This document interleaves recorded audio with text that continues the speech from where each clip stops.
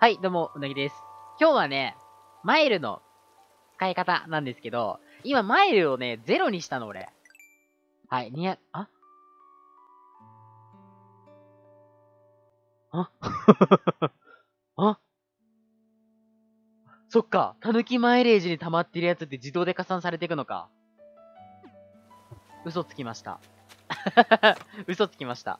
今からゼロにしてきます。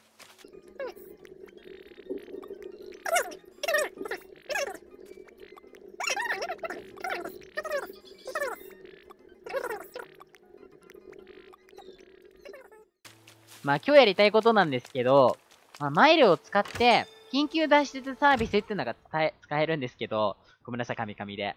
あれ100マイル使うんですよ。で緊急脱出サービスが必要な時に、100マイルなかった場合、どうなるのかなと思ったので、あの今日は検証していきたいと思います。それではまずは、お金やマイルをゼロにします。270使い切れるかな400ならあんだけどな。200ないな。逆に貯めるか。逆に貯めて400使えるようにしよう。よし、70!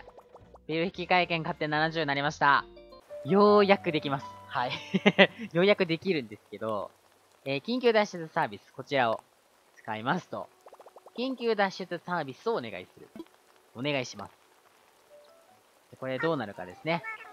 あ、ちなみにこれオペレーターは、もしかしたらリセットさんだと思います。喋り方とかがね。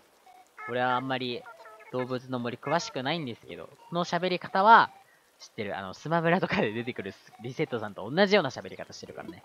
利用料は1回100マイルですけど、ひとっ飛び言っときますそう今100マイルないんですけど、これでもしも、あのー本当に高台の上とかに家があって、で、そこからはしごもないし、あの、何も作れない状態、DIY もなしなくて何も作れない状態だったら、降りれないから、こういう緊急脱出サービス使うんですけど、もしもあの、マイルすらなかったらどうなるのかっていうのをお見せします。お願いします。オペレーターお願いします。100マイル、先払いで。ないよ。あ。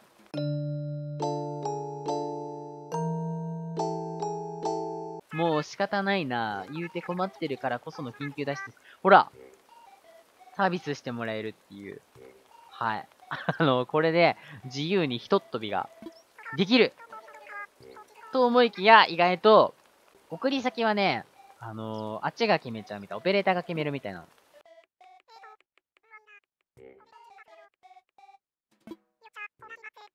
おレンジャー レンジャー痛い 痛い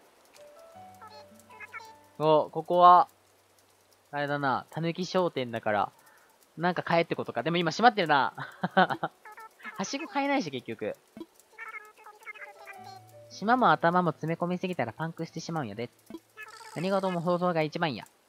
ほな。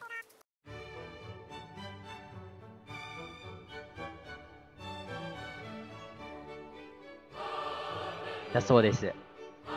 なので、お金を使わずに移動することができます。